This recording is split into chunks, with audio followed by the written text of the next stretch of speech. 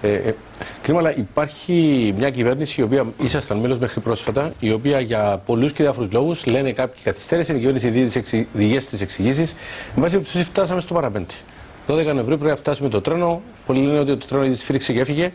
Θέλω να ρωτήσω τον υποψήφιο πρόεδρο, με δεδομένα τα σημαντικά προβλήματα της οικονομίας, πώς θα τα επιλύσετε, κύριε Μαλάιαν, την επομένη των εκλογών θα αναλάβετε αυτό το, τη στήριξη αυτού του τόπου; Καταρχήν, κύριε Μελονά, ε, για να εκφέρει κάποιος άποψη όσον αφορά την οικονομία, ε, πρέπει να συγκεκριμενοποιεί το πρόβλημα.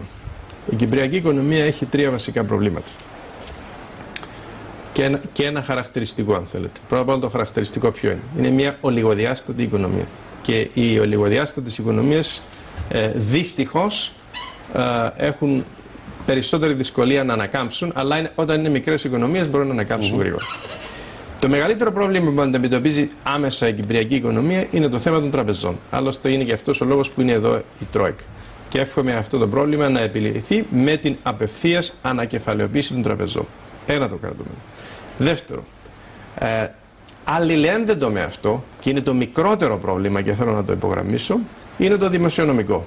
Δηλαδή η διόρθωση, δεν χρησιμοποιώ τον όρο εξυγίανση, χρησιμοποιώ τον όρο διόρθωση των δημοσίων οικονομικών έτσι ώστε σε μια περίοδο προσαρμογής που εμείς θεωρούμε ότι αυτή η περίοδος προσαρμογής πρέπει να είναι επιμηκυμένη τουλάχιστον 4-5 χρόνια ε, θα υπάρξει διόρθωση στα δημόσια οικονομικά.